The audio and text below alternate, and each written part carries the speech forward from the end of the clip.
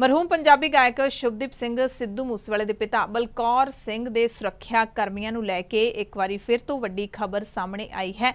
ਮੂਸੇਵਾਲੇ ਦੀ ਹਵੇਲੀ ਦੇ ਵਿੱਚ ਤਾਇਨਾਤ ਬਲਕੌਰ ਸਿੰਘ ਦੇ ਗਨਮੈਨ ਆਪਸ ਦੇ ਵਿੱਚ ਕਿਸੇ ਗੱਲ ਨੂੰ ਲੈ ਕੇ ਖੈਬੜ ਗਏ ਤੇ ਲੜਾਈ ਹੱਥੋਪਾਈ ਤੱਕ ਪਹੁੰਚ ਗਈ ਤੇ ਗਨਮੈਨ ਗੁਰਦੀਪ ਸਿੰਘ ਜ਼ਖਮੀ ਵੀ ਹੋ ਗਿਆ।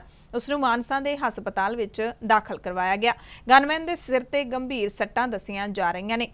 ਪਤਾ ਲੱਗਿਆ ਕਿ ਉਹਦੇ ਸਿਰ ਵਿੱਚ 10 ਟਾਂਕੇ ਲੱਗੇ ਨੇ। ਝਗੜਾ ਦੇਰ ਰਾਤ ਹਵੇਲੀ ਦੇ ਵਿੱਚ ਹੀ ਹੋਇਆ। ਜਾਣਕਾਰੀ ਮੁਤਾਬਕ ਡਿਊਟੀ ਨੂੰ ਲੈ ਕੇ ਕੋਈ ਬਹਿਸ ਹੋਈ। ਗੁਰਦੀਪ ਸਿੰਘ ਤੇ ਹਮਲਾ ਦੋ ਸਾਥੀ ਕਮਾਂਡੋਆਂ ਦੇ ਵੱਲੋਂ ਤੇਜ਼ਧਾਰ ਹਥਿਆਰ ਨਾਲ ਕੀਤਾ ਗਿਆ ਦੱਸਿਆ ਜਾ ਰਿਹਾ ਹੈ। ਮਾਨਸਾ ਦੇ ਐਸਐਸਪੀ ਨੇ ਖੁਦ ਇਸ ਮਾਮਲੇ ਤੇ ਨਜ਼ਰ ਰੱਖੀ ਹੋਈ ਹੈ ਤੇ ਉਹਨਾਂ ਨੇ ਇਸ ਬਾਰੇ ਤਾਜ਼ਾ ਜਾਣਕਾਰੀ ਵੀ ਦਿੱਤੀ ਹੈ। ਗੁਰਦੀਪ ਸਿੰਘ ਨੇ ਦੱਸਿਆ ਵੀ ਅਰੁਣ ਕੁਮਾਰ ਦੇ ਜਿਹੜਾ ਹੱਥ ਪਾਇਆ ਕੜਾ ਸੀ, ਉਹਦੇ ਨਾਲ ਉਹਦੇ ਸਿਰ 'ਚ ਸੱਟ ਵੱਜੀ ਹੈ। ਤੇ ਉਹ ਸੱਟ ਕਾਰਨ ਉਹ ਹਸਪੀਟਲ ਦਾਖਲ ਹੈ।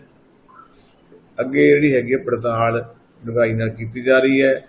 ਜਿਹਦਾ ਜਿਹੇ ਜਿਹਾ ਕਸੂਰ ਹੋਊਗਾ, ਜਿਹੇ ਜਿਹੇ ਹਾਲਾਤ ਸਾਹਮਣੇ ਆਉਣਗੇ, ਉਹੀ ਜੀ ਕਾਨੂੰਨੀ ਤੇ ਨਾਲ ਦੀ ਨਾਲ ਮਹਿਕਮਾ ਨਾਲ ਕਾਰਵਾਈ ਕੀਤੀ ਜਾਵੇਗੀ ਲੜਾਈ ਦਾ ਕਾਰਨ ਕੀ ਹੈ? ਮੂਸੇਵਾਲੇ ਨੂੰ ਖਤਮ ਕਰਨ ਤੋਂ ਬਾਅਦ ਪਿਤਾ ਬਲਕੌਰ ਸਿੰਘ ਨੂੰ ਵੀ ਗੈਂਗਸਟਰਾਂ ਦੇ ਵੱਲੋਂ ਲਗਾਤਾਰ ਧਮਕੀਆਂ ਮਿਲਦੀਆਂ ਰਹੀਆਂ, ਜਿਸ ਕਰਕੇ ਉਹਨਾਂ ਨੂੰ ਵੀ ਸੁਰੱਖਿਆ ਕਰਮੀ ਮਿਲੇ ਹੋਏ ਨੇ। ਜ਼ਾਹਿਰ ਤੌਰ ਤੇ ਜੇ ਸੁਰੱਖਿਆ ਕਰਮੀ ਹੀ ਅਜਿਹੀਆਂ ਹਰਕਤਾਂ ਕਰਨਗੇ, ਤਾਂ ਬਲਕੌਰ ਸਿੰਘ ਅਤੇ ਪਰਿਵਾਰ ਦੀ ਸੁਰੱਖਿਆ ਨੂੰ ਲੈ ਕੇ ਸਵਾਲ ਉੱਠਣੇ ਲਾਜ਼ਮੀ ਨੇ ਤੇ ਇਹ ਕੋਈ ਪਹਿਲਾ ਮੌਕਾ ਨਹੀਂ ਹੈ ਜਦੋਂ ਬਲਕੌਰ ਸਿੰਘ ਦੇ ਗਨਮੈਨ ਨੂੰ ਲੈ ਕੇ ਵਿਵਾਦ ਹੋਇਆ ਹੋਵੇ।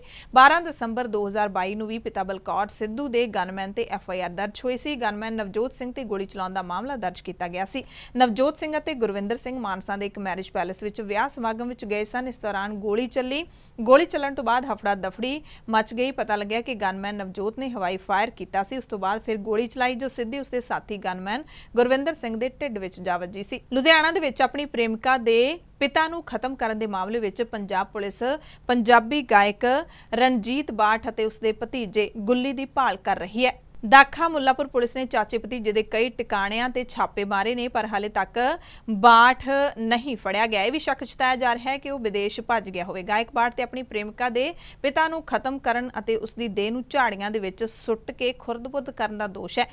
ਇਸ ਇਸ ਵਾਰਦਾਤ ਤੋਂ ਬਾਅਦ ਉਸਨੇ ਖੁਦ WhatsApp ਰਾਹੀਂ ਆਪਣੀ ਪ੍ਰੇਮਿਕਾ ਨੂੰ ਇੱਕ ਸੁਨੇਹਾ ਲਿਖ ਕੇ ਉਹ ਤੋਂ ਮਾਫੀ ਮੰਗੀ ਤੇ ਉਸ ਨੂੰ ਉਸ ਥਾਂ ਬਾਰੇ ਵੀ ਦੱਸਿਆ, ਜਿਸ, ਜਿੱਥੇ ਉਸਨੇ ਉਹਦੇ ਪਿਓ ਦੀ ਦੇਹ ਨੂੰ ਸੁੱਟਿਆ ਸੀ। ਇਸ ਵਾਰਦਾਤ ਦਾ ਕਾਰਨ ਇਹ ਦੱਸਿਆ ਜਾ ਰਿਹਾ ਹੈ ਕਿ ਜਿਸ ਕੁੜੀ ਦੇ ਨਾਲ ਗਾਇਕ ਬਾਠ ਦੀ ਦੋਸਤੀ ਸੀ ਉਹ ਉਸ ਤੇ ਵਿਆਹ ਲਈ ਦਬਾਅ ਬਣਾ ਰਿਹਾ ਸੀ ਕਿ ਉਹ ਆਪਣੇ ਪਤੀ ਨੂੰ ਛੇਤੀ ਤਲਾਕ ਦੇ ਕੇ ਉਹਦੇ ਨਾਲ ਵਿਆਹ ਕਰਵਾ ਲੇ ਕਿਉਂਕਿ ਉਹ ਕੁੜੀ ਪਹਿਲਾਂ ਹੀ ਵਿਆਹੀ ਹੋਈ ਹੈ ਤੇ ਜੇ ਉਹ ਜਿਹਾ ਨਹੀਂ ਕਰਦੀ ਤਾਂ ਉਸ ਨੂੰ ਜਾਂ ਉਸ ਦੇ ਪਰਿਵਾਰ ਨੂੰ ਖਤਮ ਕਰ ਦੇਊਗਾ। ਤੇ ਜਦੋਂ ਕੁੜੀ ਨੇ ਇਨਕਾਰ ਕੀਤਾ ਤਾਂ ਆਖਿਰਕਾਰ ਇਸ ਅ, ਸਨਕੀ ਗਾਇਕ ਨੇ ਸੱਚਮੁੱਚ ਉਹੀ ਕੀਤਾ ਜਿਸ ਦੀ ਉਹ ਧਮਕੀ ਦਿੰਦਾ ਸੀ। ਪਠਾਨਕੋਟ ਦੇ ਵਿੱਚ ਇੱਕ ਕਾਰ ਦੇ ਵਿੱਚ ਸਵਾਰ ਦੋ ਨਕਾਬਪੋਸ਼ ਬਦਮਾਸ਼ਾਂ ਨੇ ਇੱਕ ਵਪਾਰੀ ਦੇ 6 ਸਾਲ ਦੇ ਪੁੱਤ ਨੂੰ ਅਗਵਾ ਕਰ ਲਿਆ ਤੇ ਸੜਕ ਤੇ ਇੱਕ ਚਿੱਠੀ ਸੁੱਟ ਦਿੱਤੀ, ਜਿਸ ਵਿੱਚ ਲਿਖਿਆ ਸੀ ਕਿ ਤੁਹਾਡਾ ਪੁੱਤਰ ਸਾਡੇ ਕੋਲ ਸੁਰੱਖਿਅਤ ਹੈ। ਜੇ ਤੁਸੀਂ ਸਾਡਾ ਸਾਥ ਦਿਓਗੇ ਤਾਂ ਬੱਚੇ ਨੂੰ ਕੁਝ ਨਹੀਂ ਹੋਊਗਾ, ਸਾਨੂੰ 2 ਕਰੋੜ ਰੁਪਏ ਚਾਹੀਦੇ ਨੇ। ਫਿਰ ਕਾਰੋਬਾਰੀ ਨੇ ਇਸ ਦੀ ਸੂਚਨਾ ਪੁਲਿਸ ਨੂੰ ਦਿੱਤੀ। 7 ਘੰਟਿਆਂ ਦੇ ਅੰਦਰ ਹੀ ਪੁਲਿਸ ਨੇ ਬੱਚਿਆਂ ਨੂੰ ਹਿਮਾਚਲ ਪ੍ਰਦੇਸ਼ ਬੱਚੇ ਨੂੰ ਹਿਮਾਚਲ ਪ੍ਰਦੇਸ਼ ਦੇ ਨੂਰਪੁਰ ਨੇੜੇ ਆਡੀ ਤੋਂ ਸੁਰੱਖਿਅਤ ਬਰਾਮਦ ਕਰ ਲਿਆ। ਮੁਲਜ਼ਮ ਬੱਚੇ ਨੂੰ ਕਾਰ ਵਿੱਚ ਛੱਡ ਕੇ ਮੌਕੇ ਤੋਂ ਫਰਾਰ ਹੋ ਗਿਆ। ਪਤਾ ਲੱਗਿਆ ਕਿ ਅਗਵਾ ਕਾਰ ਬਰਖਾਸਤ ਬੀਐਸਐਫ ਕਾਂਸਟੇਬਲ ਅਮਿਤ ਰਾਣਾ ਹੈ, ਜਿਸ ਨੇ ਆਪਣੇ ਦੋਸਤ ਸੋਨੀ ਦੇ ਨਾਲ ਮਿਲ ਕੇ ਵਾਰਦਾਤ ਨੂੰ ਅੰਜਾਮ ਦਿੱਤਾ। ਕਾਰੋਬਾਰੀ ਬਾਦਲ ਭੰਡਾਰੀ ਪਾਲਤੂ ਜਾਨਵਰਾਂ ਤੇ ਕੁੱਤਿਆਂ ਦੇ ਸਮਾਨ ਦੀ ਦੁਕਾਨ ਦੇ ਮਾਲਕ ਹਨ। ਪੰਜਾਬ ਦੇ ਡੀਜੀਪੀ ਗੌਰਵ ਯਾਦਵ ਨੇ 7 ਘੰਟਿਆਂ ਦੇ ਵਿੱਚ ਵਿੱਚ ਇਹ ਮਾਮਲਾ ਹੱਲ ਕਰਨ ਦੇ ਲਈ ਪੰਜਾਬ ਪੁਲਿਸ ਦੀ ਤਾਰੀਫ ਕੀਤੀ ਹੈ। ਅੰਮ੍ਰਿਤਸਰ ਦੇਹਾਤੀ ਪੁਲਿਸ ਨੇ ਗੈਂਗਸਟਰ ਤੇ ਤਸਕਰ ਹਰਪ੍ਰੀਤ ਸਿੰਘ ਉਰਫ ਹੈਪੀ ਜੱਟ ਦੀ 6 ਕਰੋੜ 28 ਲੱਖ ਰੁਪਏ ਦੀ ਜਾਇਦਾਦ ਸੀਲ ਕਰ ਦਿੱਤੀ ਹੈ। ਹੈਪੀ ਨੇ ਨਸ਼ਾ ਵੇਚ ਕੇ ਇਹ ਜਾਇਦਾਦ ਬਣਾਈ ਸੀ, ਇਹ ਪੁਲਿਸ ਨੇ ਦਾਅਵਾ ਕੀਤਾ ਹੈ। ਜਲੰਧਰ ਦੇ ਰਾਜਨਗਰ ਦੇ ਵਿੱਚ ਇੱਕ ਹੋਰ ਨੌਜਵਾਨ ਨਸ਼ੇ ਦੀ ਓਵਰਡੋਜ਼ ਕਰਕੇ ਇਸ ਦੁਨੀਆ ਤੋਂ ਚਲਾ ਗਿਆ ਹੈ। ਉਸ ਦੀ ਪਛਾਣ ਰਾਜਪਾਲ ਸਿੰਘ ਵਾਸੀ ਰਾਜਨਗਰ ਵਜੋਂ ਹੋਈ ਹੈ। ਪੁਲਿਸ ਨੇ ਦੇਹ ਨੂੰ ਪੋਸਟਮਾਰਟਮ ਦੇ ਲਈ ਭੇਜ ਦਿੱਤਾ ਹੈ।